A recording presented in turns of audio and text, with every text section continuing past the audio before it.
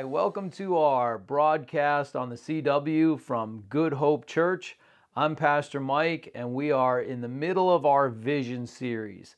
Every year, and sometimes twice a year, we talk about the basic vision of the church. Why are we here? What are we trying to accomplish? And we put together just a simple vision statement, which is reach up, rise up, reach out. And it's the, the litmus test that if we're doing something, does it fit into one of those categories? If we have a strategy for ministry, does it help us uh, along one of those three lines? And so we always focus on staying on task because, as Zig Ziglar put it so many years ago, the main thing is to keep the main thing the main thing. And that's what we're trying to do. We want to stay uh, busy connecting with God, growing in our faith, and making a difference in this world. So this week we're on part two Rise Up of our Vision series. I hope you get something good out of part two Rise Up. I'm going to introduce our one minute blessing time. Every service we pray together. I believe when God's people pray, the hand of God moves. For whatever reason, God has seen fit to uh, allow us to pray and then He responds. I'm, I'm not sure if that's a good strategy or not, but He does that. And so when God's people pray, it moves the hand of God. And so each service we pray together for a particular ministry, for a need, whatever the case may be. And this week, I want to pray for next weekend. Next weekend, there's some really awesome things going on in Cloquet. Friday and Saturday at the Armory is the Feed My Starving Children mobile food packing event. So, over $22,000 has been raised, and 500 volunteers are ready to go to make it all happen at the Armory Friday and Saturday. A fantastic event going on there. And then on Sunday is the God's Work Our Hands event. And that's where churches come together uh, and then go out into the community and do service projects together. And so both of those events are churches working together to make a difference in our community and around the world. So the Feed My Starving Children mobile food packing event, fantastic thing. And then the God's Work Our Hands thing, really, really great. But it's about churches working together. Amen when God's people work together, amazing things happen. When God's people don't work together, amazing things don't happen. And so we need to stand together as the body of Christ, and it's a really awesome thing. One of the things that's going on in Cloquet is we've got several churches growing at the same time. Yeah, we've got probably five churches right now that are growing in Cloquet at the same time. Now, that means that it isn't people switching and going here and there and finding the flavor of the week. It means that God is doing something and that we're all coming up together. And that's an incredible, wonderful thing. And the reason that happens here is because the churches work together. The churches love and support each other. The pastors pray for each other. It's, it's just, it's a good thing. We know we're on the same team serving God maybe different flavors, maybe different perspectives on some things, but we've got something more important that's in common than the things that separate us. And so we stand together for, for, the, uh, for the glory of God. And so let's pray for the Feed My Starving Children event and the, uh, um, the God's Work Our Hands event. And let's also pray for the body of Christ to stand unified for God's glory. So pray with me if you would. Heavenly Father, first, we give you thanks for churches working together to be able to accomplish things for your kingdom. We thank you for the Feed My Starving Children mobile food packing event and for the God's Work Our Hands event. Lord, uh, reaching out into the world and reaching into our community to do uh, good things, ministries of love and compassion into this world. Lord, thank you for those things. And Father, we, we thank you for the unity of the believers and the unity between churches here in the Cloquet area. What an amazing blessing that is that that we have so many churches that understand that when we stand together, we are all stronger together. And so, Father, we pray that that unity would continue to increase, continue to bear fruit for your kingdom, and that your hand of blessing would be upon all the churches that are trusting in you, Lord, not just in this area, in this region, but around the world. Lord, let your hand be upon us that we may glorify you together. In Jesus' name, amen. Amen.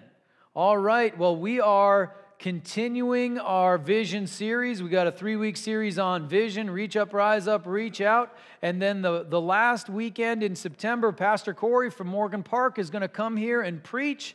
And I'm going to go to Morgan Park and preach there. And that's going to be fantastic. So, Pastor Corey uh, and the whole team there in Morgan Park will have their one year anniversary of the starting of the church next week. So, yeah, they're going to have a big celebration. And then the following week, he'll be here and tell you a bunch of stuff that's been going on and preach a good word here in, uh, in Cloquet. Uh, and I'm just thrilled with how things are going over there. You know, they're fighting a battle. When we first were starting to arrange things so that we could plant a church in Morgan Park, there were three struggling churches in that community.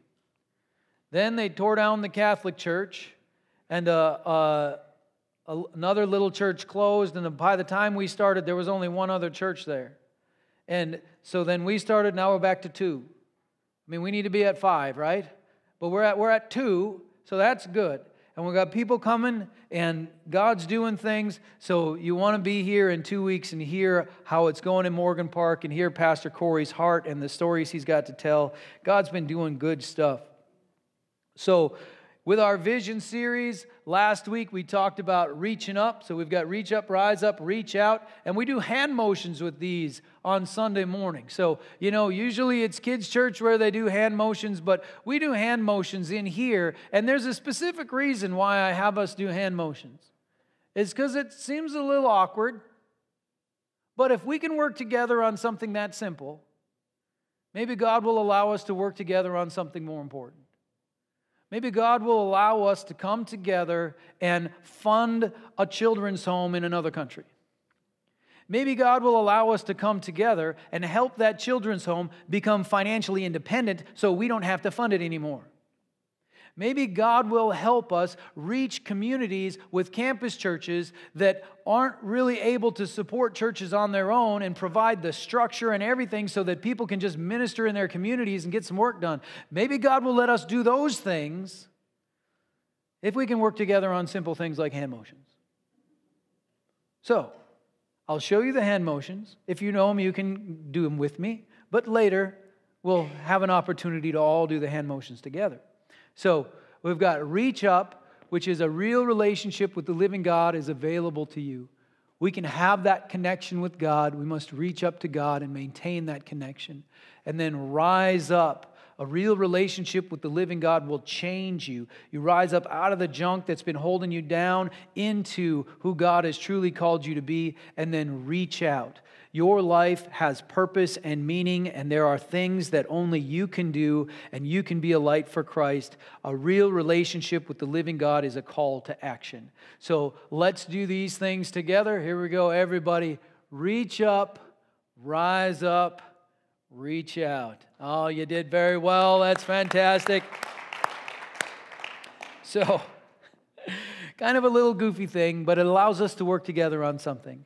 And if there's something that Christians need to do, it's work together.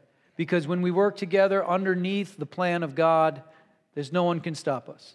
Amen. The gates of hell will not prevail. But if we implode from the inside, we're done before we start. So, working together is where it's at. Last week, we talked about reaching up, connecting with God, and a real relationship with the living God is available to you. And I asked Pastor Corey, hey, what is the most important thing people need to know about reaching up to God? And he said, well, I think the thing that people need is a tangible experience with God. And so, uh, last week, we talked about three examples from the Bible of people who lived their life and had experiences with God so that we could see what are the possibilities and what might my experience with God be like. We talked about Samuel, who was the classic insider who had every advantage. He was uh, an answer to prayer from the high priest, he was dedicated to service to God at his birth. He was put in the temple to serve the Lord from the time that he was a toddler. And he slept next to the Ark of the Covenant of God. He was an insider who had every opportunity. And God came and spoke to him and made him a mighty prophet for the whole nation. He had a tangible experience with God when he was just a kid. Then we talked about the Canaanite woman, the opposite of Samuel the woman who had every disadvantage, who was of a rejected class of people, who was ignored and shunned by Jesus for a time, but she fought through that and was able to get her miracle. She had a tangible experience with God, being the disadvantaged, rejected, pushed aside person. And then we talked about the Ethiopian eunuch. The Ethiopian eunuch had an incredible experience with God through another person through Philip, who came and explained the word of God to him, and then he was baptized and went serving God from then on out. He had a tangible, beautiful experience with God, but it came through a person. So we saw the insider's experience with God, the outsider's experience with God, and the people whose experience with God comes through others.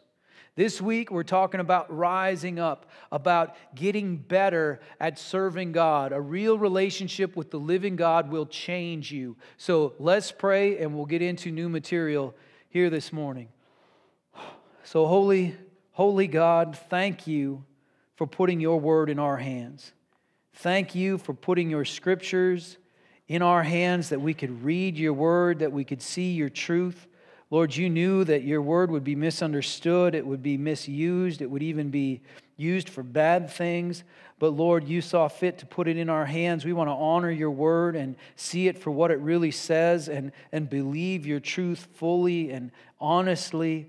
Lord, I know each one in this place needs something different from you, but your word is living and active. So I pray by your Holy Spirit that you would just touch each one of us with just what we need the thing we need to believe in you, to trust you more, to, uh, to walk in your ways more effectively, to bear more fruit for your kingdom, to have joy instead of sadness, whatever it is that we need. Lord, I know by your Spirit you can touch each one of us with, with just that. So that's what I ask of you. Do bless our time. In Jesus' name, amen. Rise up. A real relationship with the living God will change you. God expects you to grow and get better. Amen? He's expecting you to grow and get better. Now, that's good for you and it's good for Him. You know, when you grow and get better, your life gets better. When you grow and get better, you're able to be more effective and productive in the kingdom of God as well. So it's good for everybody. We want to grow and we want to get better. People want their lives to change, but oftentimes they don't personally want to change. Well, here's the deal if you want your life to change, you're the one who's going to have to change. You're the one who's going to have to grow and get better, get you know, rise up out of all the junk, all the negative things that are pulling you down, the, the things that have happened to you that you can't get free from. We want to break free from that and rise up into who God truly called us to be, have the character, the heart, the vision of God, and walk into His calling for us. We want to uh, rise up. God expects it, and He is there to help us change and become who we're supposed to be. Now, we have an order of the vision statement reach up, rise up, reach out. And that's based on the idea that, you know, who needs, uh, your, what qualifications do you need to have to reach up to God? None, right? Doesn't matter what sin you're in the middle of. It doesn't matter where you've been. It doesn't matter your lineage or what you know. All you, you just reach up to God. He's there to receive you. That's, that's it. Then we're called to grow.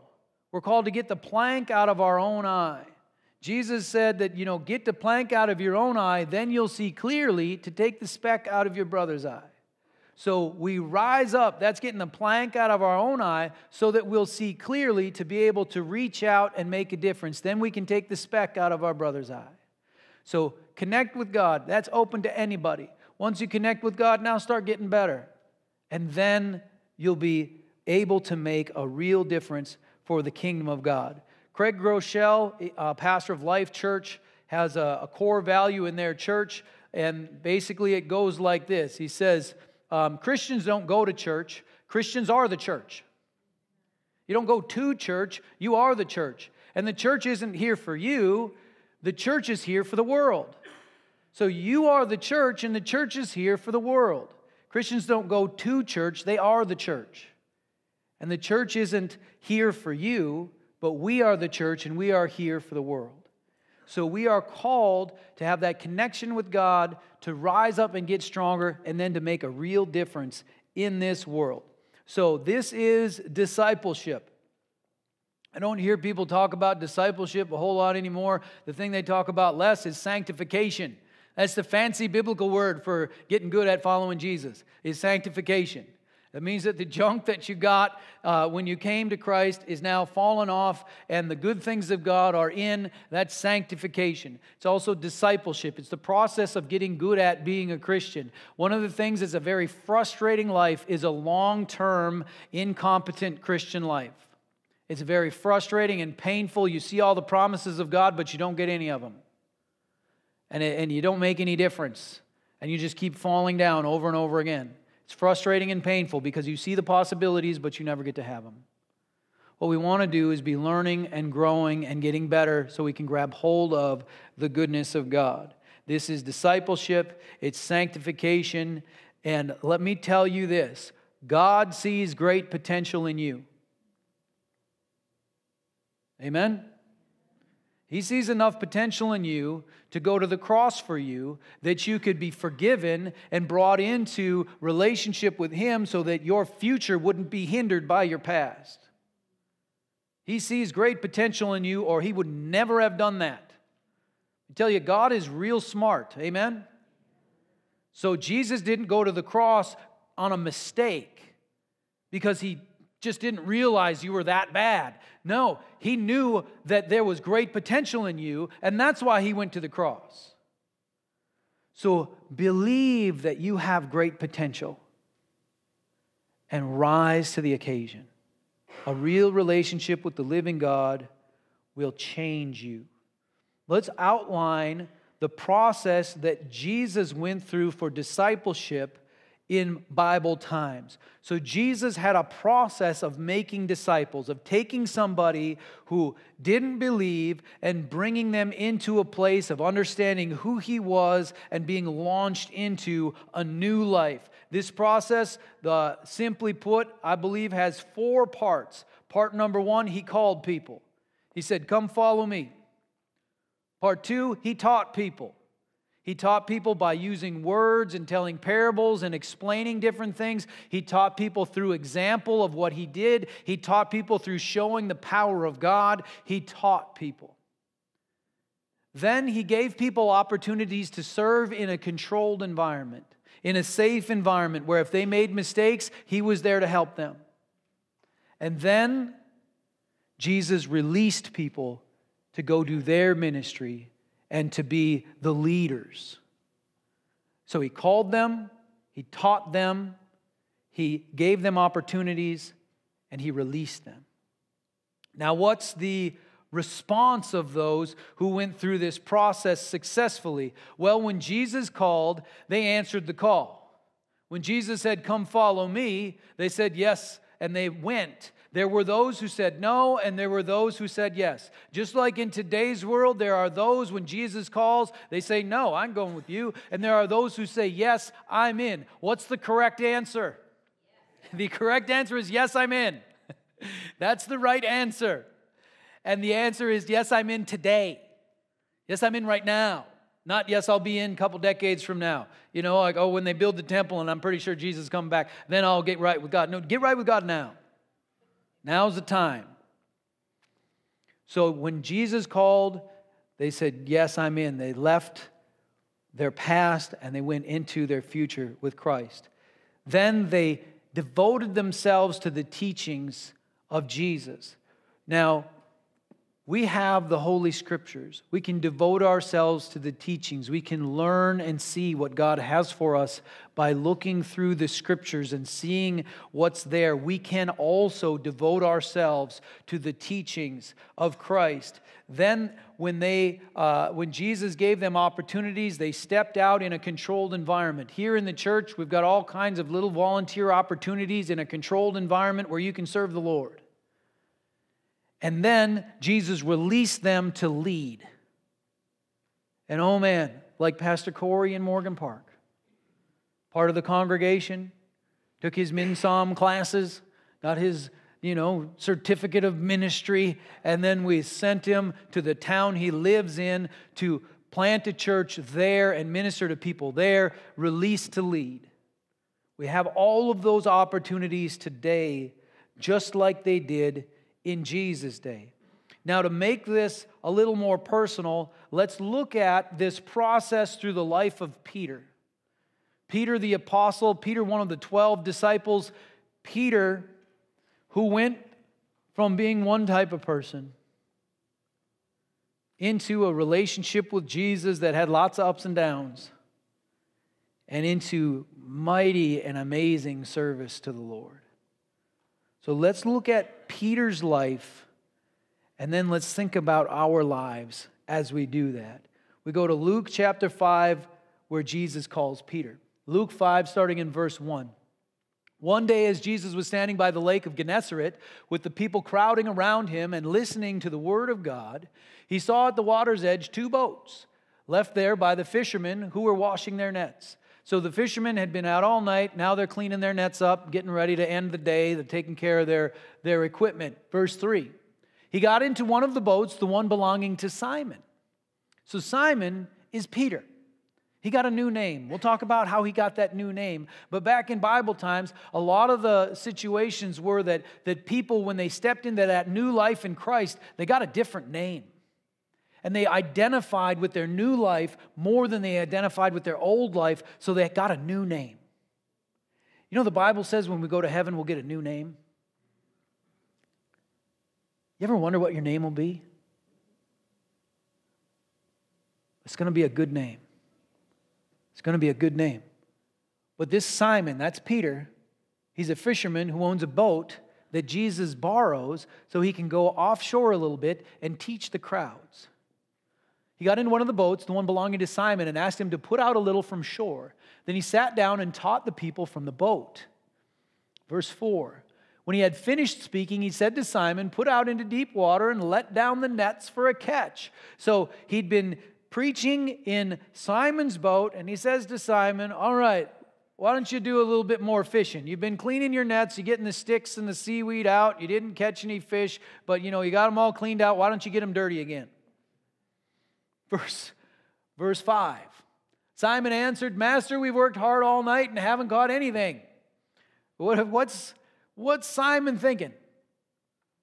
You know, uh, he's probably thinking things like, okay, you do the preaching, I'll do the fishing. Let's just stick to the things we're good at here. It's not fishing time. Sun's out, it's late in the morning. I'm tired, I want to go to bed. But something happened. But because you say so, I will let down the nets. Because you say so. Peter submitted to the request of Jesus the command of Jesus, the instruction of Jesus. I've heard it said you can't submit until you disagree. If you agree with what someone is saying and they're, they're asking you to do something, then you're just doing what you want to do. But it's only when you disagree with someone who has authority over you that you're able to submit to that authority. So if you agree with everything and then the one time you don't, you don't do it, you haven't submitted yet. However, Peter, he says, This is not the time to let down the nets. This is foolish, but you said so, so I'm going to. He's disagreeing and submitting. So, verse 6 When they had done so, they caught such a large number of fish that their nets began to break. So they signaled their partner in the other boat to come and help them, and they came and filled both boats so full that they began to sink. So that's pretty good fishing day. This is the best payday that Peter's ever had in his life. If this happened regularly, they'd build bigger boats. So this is fantastic. What is Peter's response to this? When Simon Peter saw this, he fell at Jesus' knees and said, Go away.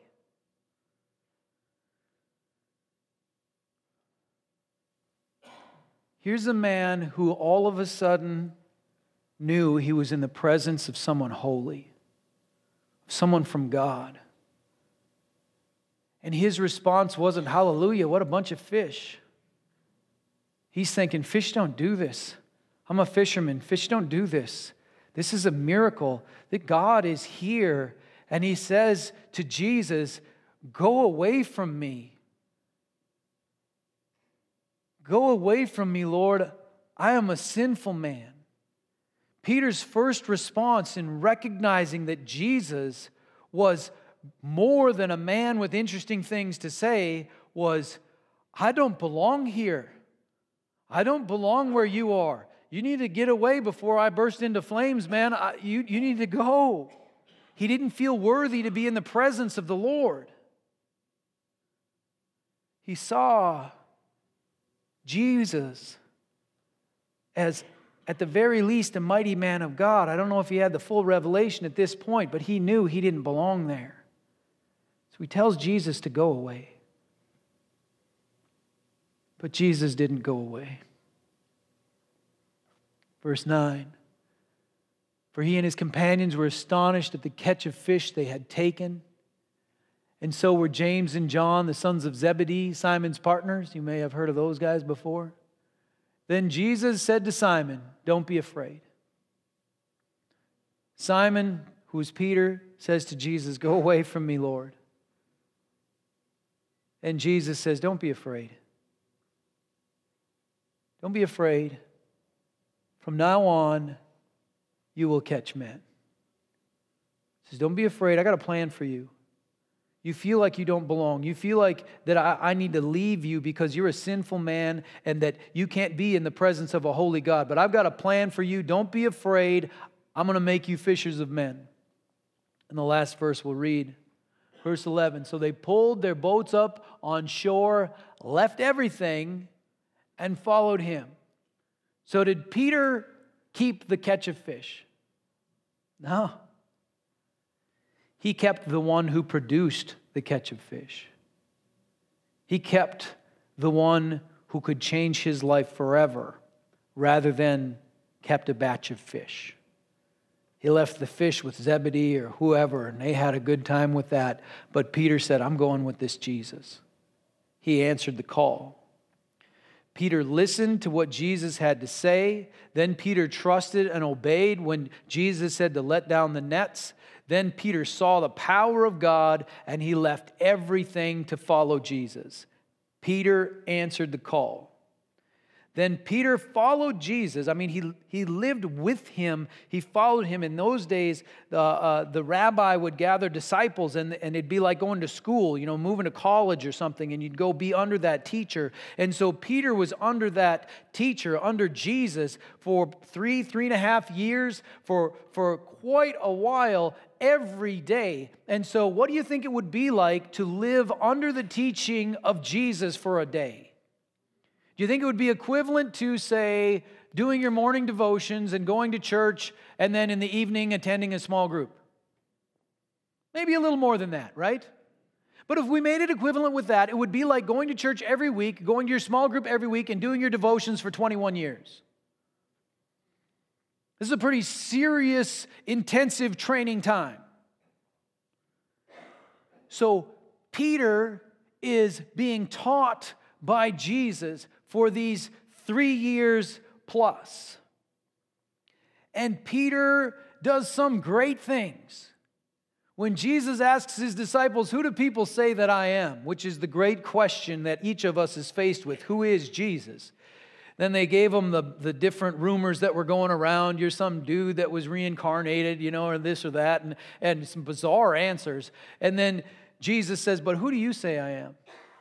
And Peter, because when things enter his mind, they come out his mouth, which is why it's so nice to read the stories of Peter because we don't have to wonder what he was thinking. He just said it. He says, You're the Christ, you're the Son of God. And Jesus says, That wasn't revealed to you by man. You didn't figure that out yourself. God showed you that. And then he says, Now your name is Rock because that's the translation of the word Peter. So it wasn't, he was named Rock. Like if it was in English, his name would be Rock.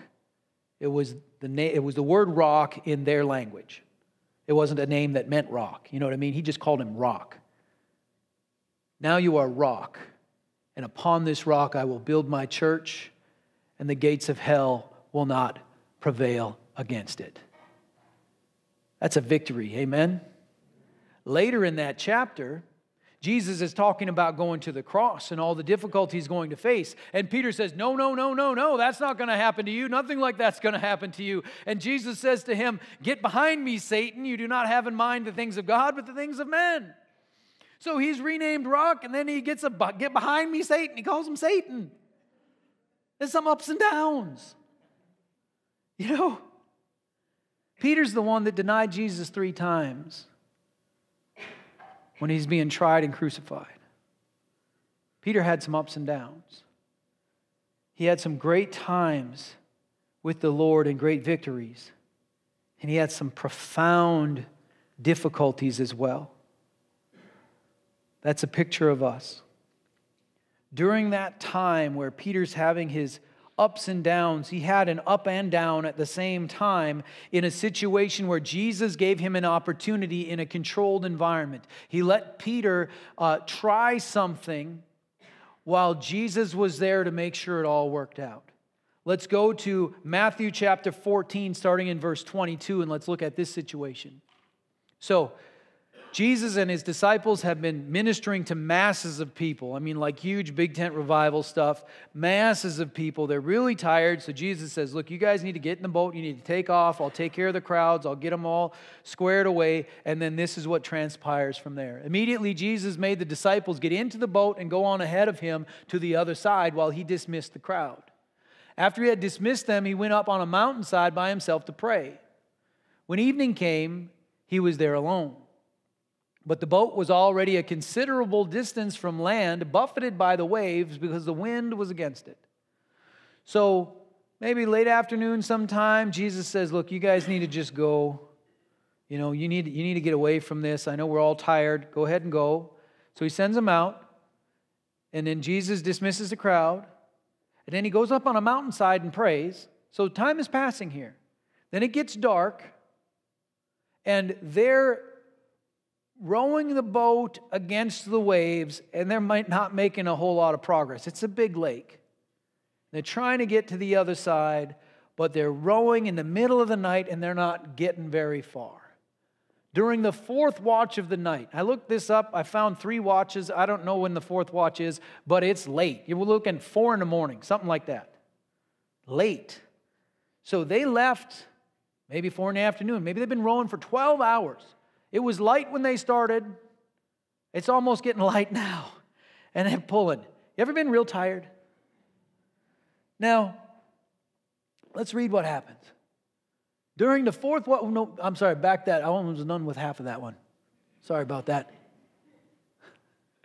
It's a, the camera people have to chase me around too. You know, it's, it's, it's tough on them. Sometimes I'll do one of these and they're like, oh, don't do that.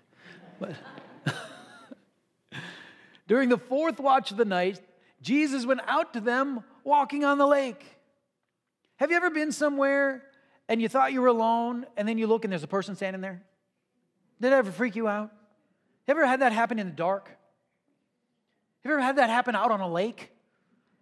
A person out on the lake, they're rowing for half a day. They're tired. It's dark. There's a storm. They don't know what's going on. And all of a sudden, there's a person out on the lake. They're like, ah. Verse, next verse. When the disciples saw him walking on the lake, they were terrified. It's a ghost, they said, and cried out in fear. But Jesus immediately said to them, Take courage, it is I, don't be afraid. So he, he startled them, he kind of snuck up on them. They freaked out a little bit. He said, Look, it's okay, it's me. Don't be afraid. Verse 28. Lord, if it is you, Peter replied, Tell me to come to you on the water. Apparently, Peter's not quite sure yet. Like, I don't know. He's still a little scared. If it is you, tell me to come out. Verse 29. Come, he said. Then Peter got down out of the boat, walked on the water, and came toward Jesus. Now, Jesus walking on the water, I can picture that in my mind. Amen. He's, he's the Son of God, He's the Alpha and the Omega. You know, I mean, he was fully man, but fully God too, Peter gets out of the boat, starts walking on the water. Not too bad. The only like normal person to walk on water is Peter. But this isn't the end of the story. When he's in the boat, he's got a certain type of courage. You know, there's in the boat courage and there's out of the boat courage. Peter starts the process with in the boat courage.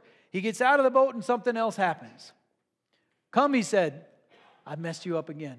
Come, he said. Then Peter got down out of the boat, walked on the water, and came toward Jesus. But when he saw the wind, he was afraid and beginning to sink, cried out, Lord, save me. So he's got in the boat courage. He gets out of the boat. It's working good. Then he realizes he has out of the boat and he's got on the lake courage, which he starts to sink because he's afraid of what's going on. And he says, Lord, save me. I love the next word, verse 31. Immediately. Immediately, Jesus reached out his hand and caught him. He lifts him up. You of little faith, he said, why did you doubt? He caught him. He said, that was, that was pretty good. You could have got farther, though. Pretty good. You know, Jesus didn't just watch him and be like, You have little faith, you know.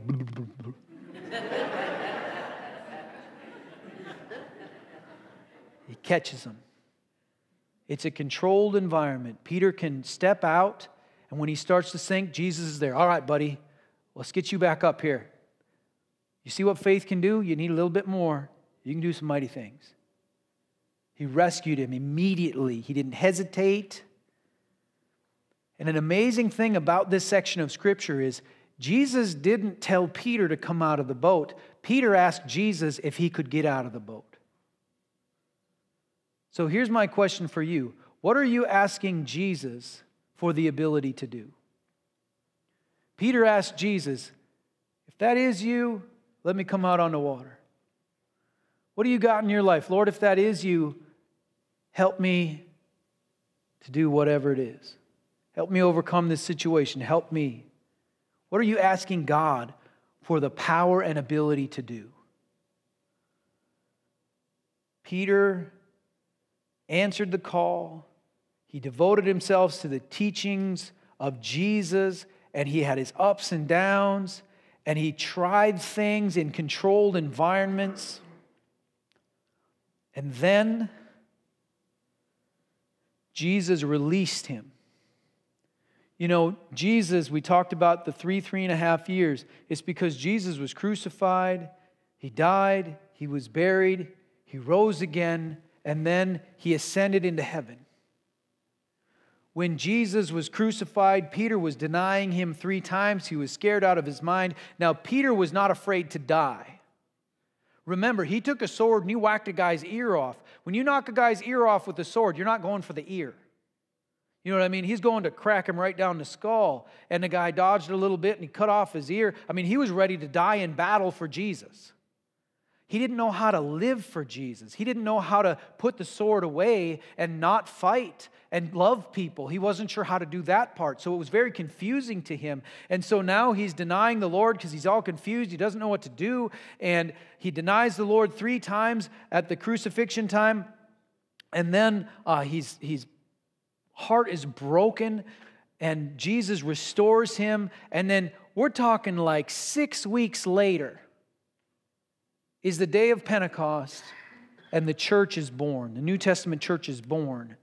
And who is the main figure at the birth of the New Testament church? It's Peter. Acts chapter 2, verse 14. It's the day of Pentecost. There's people from all over the region that speak all these different languages, all these different na- nationalities have converged on Jerusalem. And God has done a mighty miracle where the, the 120 in the upper room, the Holy Spirit falls on them, and they're able to speak the languages of all these people and tell of the wonders of God. And everybody's confused as to what's happening. And Peter stands up and he gets everyone's attention and they listen to him. Then Peter stood up with the eleven, raised his voice, and addressed the crowd Fellow Jews, and all of you who live in Jerusalem, let me explain this to you. Listen carefully to what I say. They quieted down and they listened. And he's speaking to thousands of people all at once. I had the, the blessing of being able to go over to Albania. One of the things that around here, like you think, how do you speak to thousands of people without electronics? Over there, there's all these natural amphitheaters and there's not many trees. It's kind of open. You know, like there's, you can see how it could happen. It's an amazing thing. God used that geography as part of his plan. But Peter stands up, he quiets the crowd, and then he preaches a message. We're not going to read the whole message, but we're going to cut to the conclusion of it. We're jumping to verse 36. This Peter, who was afraid to be in the presence of Jesus, is now released to do amazing ministry. Verse 36. Therefore, Peter says, Let all Israel be assured of this God has made this Jesus, whom you crucified, both Lord and Christ. Who crucified Jesus? Why did he go to the cross? I tell you, I got a piece in it. He went there for me, so who crucified Jesus?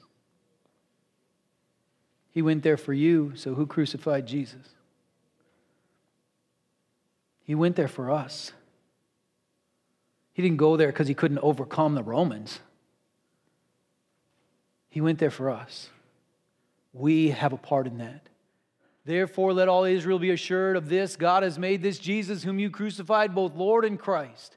When the people heard this, they were cut to the heart and said to Peter and the other apostles, Brothers, what shall we do? So, Peter, who is called by Jesus, now calls others. What shall we do? Verse 38. Peter replied, Repent and be baptized, every one of you, in the name of Jesus Christ for the forgiveness of your sins. So repent be baptized in the name of Jesus. Your sins will be forgiven, and you will receive the gift of the Holy Spirit. The promise is for you and your children, for all who are far off, for all whom the Lord our God will call. So, this promise is for everyone. It's for them that were there, it's for those in the future, it's for those who weren't there, and for everybody. That includes us. Verse 40. With many other words, he warned them and pleaded with them Save yourselves from this corrupt generation.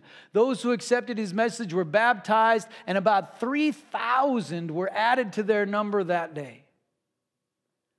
Peter, the denying Peter, the get behind me, Satan Peter, the go away from me, Lord, I'm a sinful man, Peter, has stepped up into something new.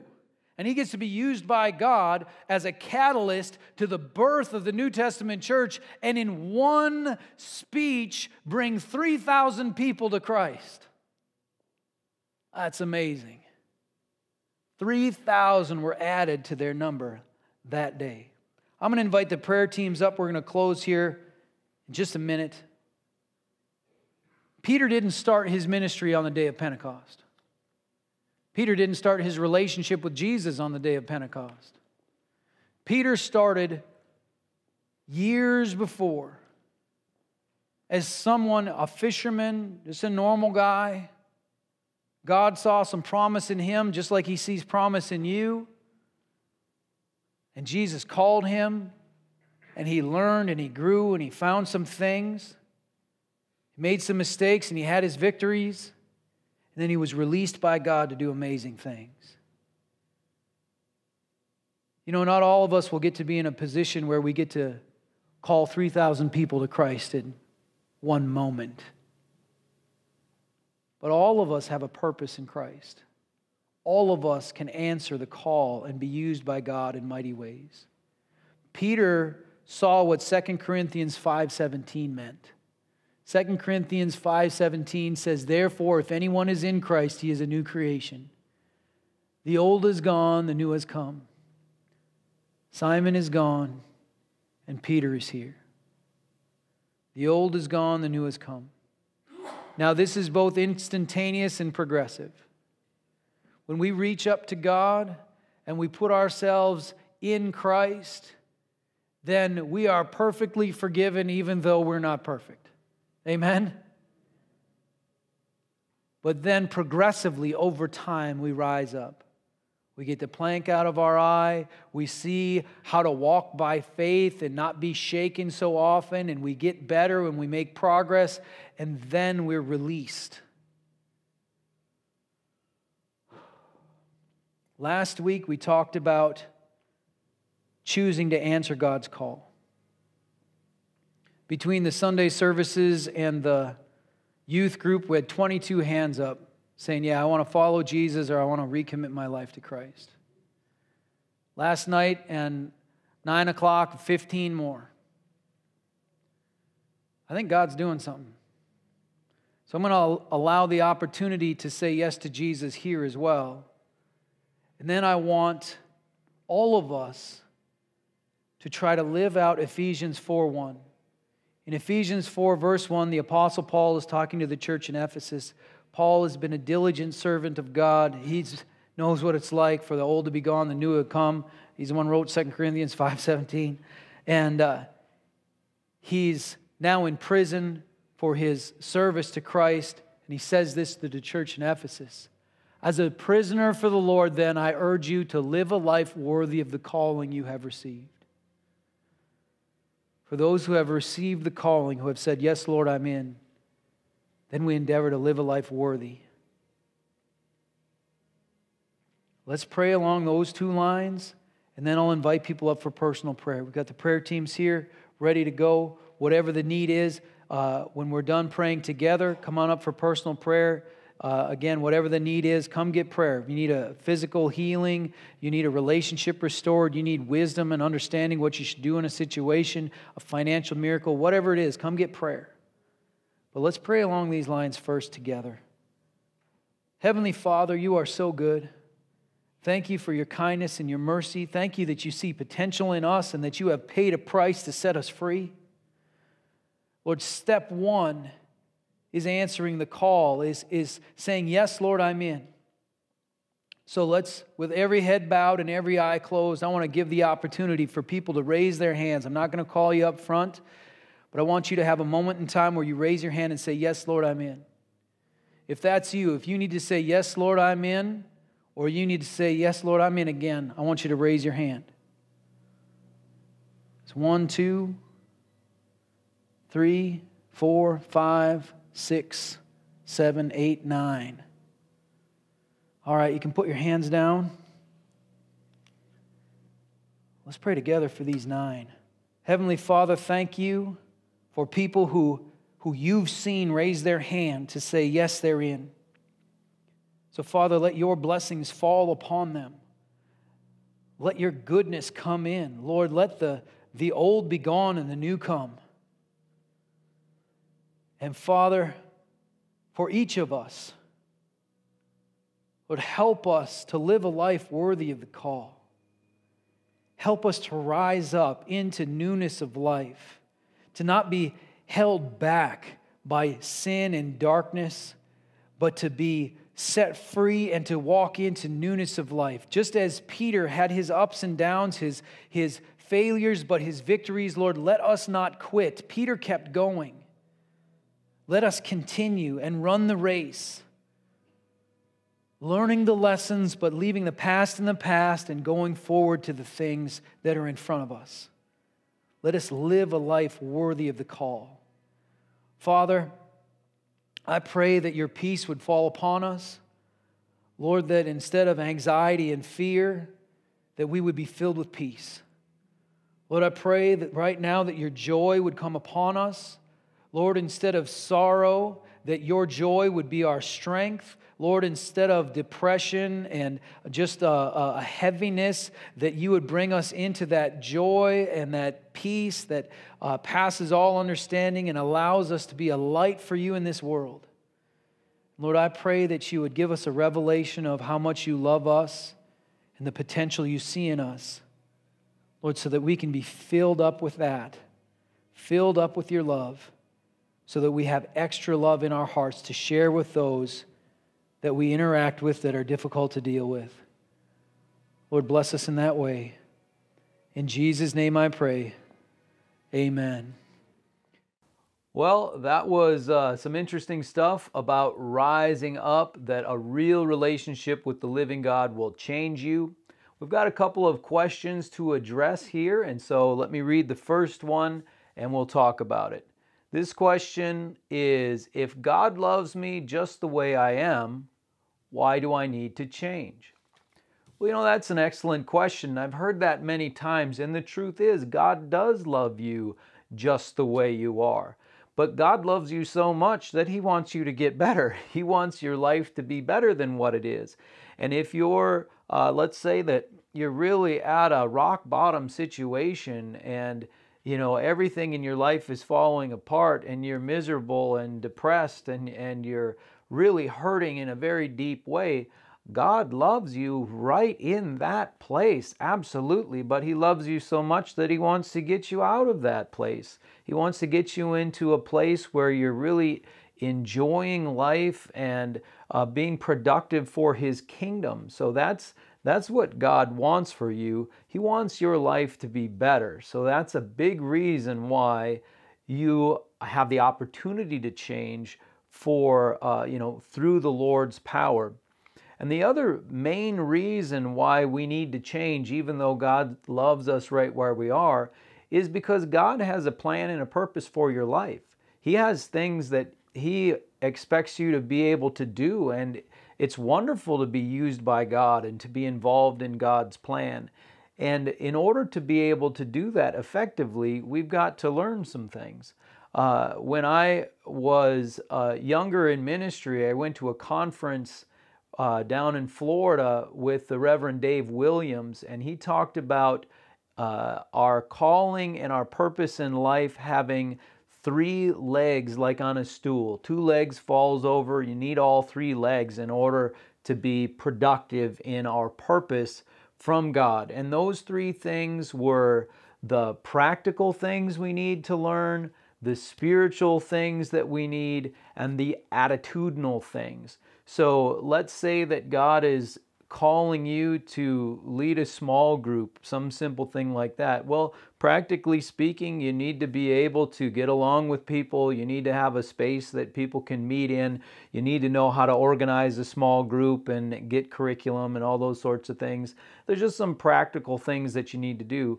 Then spiritually, you need to be in a place where you uh, are confident with who you are in Christ, and so you can facilitate a discussion without being threatened. And you need to also be able to answer certain questions in the right way, and just spiritually be developed in the in that good place. And then you have to have a good attitude. Let's say there's a person that's difficult to deal with, and then you just start yelling at them. Uh, that's a bad attitude. Or one day you just wake up and you just don't feel like having your small group, so you just uh, throw a fit and don't you know, don't open your door when people come, that sort of thing. You know, you have to be able to develop the practical skills, the spiritual, uh, get into that spiritual place, and then also have the right attitude. So as you grow in these things, your life gets better and your ability to serve the Lord gets better. And that's why God expects us to change, even though He loves us right where we're at. Another question that I received is this Is the pattern the same for everyone. That God calls them, like Peter, we talked about Peter. God calls them so they quit their job and then they uh, get taught by God and then they have this different opportunities in a controlled environment and then they're released to become a great evangelist apostle. Is that pattern the same for everyone? And uh, clearly, of course, we're not all supposed to be Peter. So the pattern is different for everyone. There is a calling on everyone's life, but most people at that first step have a different experience than Peter. Peter left everything. He walked away from fishing the day that Jesus called him to follow him and become a fisher of men. For most people, once you say, Yes, Lord, I'm in, I'm going to walk with you and live my life for you, you don't quit your job. You keep your job. You keep your same house, you keep your same family, you're living the same life, but you're living that life in a different way. Most people aren't called to go into the ministry and become a pastor or to become a missionary and go to Africa or some other a foreign field and serve the Lord in that capacity. Most people are called to fully devote their lives to Christ and keep the same life, but just live it in a different way. So, still going to the same job, but now being a light for Christ at that job. Instead of being someone who has a bad attitude and who is a negative influence on people, instead, you go to your job and you're a light for Christ in your workplace. You lead by example in how you uh, work hard and do an excellent job, and then uh, you have the ability to speak life into people in your workplace. Also, uh, you know, as far as becoming a great evangelist apostle like Peter was, he had that opportunity on the day of Pentecost in Acts chapter 2 to be able to address a massive crowd of people and have an incredible impact, seeing 3,000 people come to Christ at one time, just an amazing, amazing day, it's most likely that your experience of serving God is going to be much simpler than that. You might be someone who, you know, regularly attends church, gives faithfully, and serves in a particular area like being a youth leader or teaching Sunday school or helping with the broadcast team at Good Hope or any of those sorts of things. But in general, most people, they're going to dedicate their life to Christ, but keep their same job and become a faithful servant of Christ in this normal life. Well, that's the conclusion of our time now talking about Rise Up. We've answered a few questions and dealt with that concept of getting better in our faith and our progression with God over time. If you've enjoyed this uh, sermon series, I encourage you to come visit us. One of the things that's been neat about having people see us on the CW is then sometimes people come to church and they'll say, Hi, Pastor Mike, I saw you on the CW. So, very uh, happy to have some of you come and visit us. And I'd love to see some more of you. But I want to thank you for watching and just pray encouragement and blessing over you. So, God bless you. Have a wonderful day.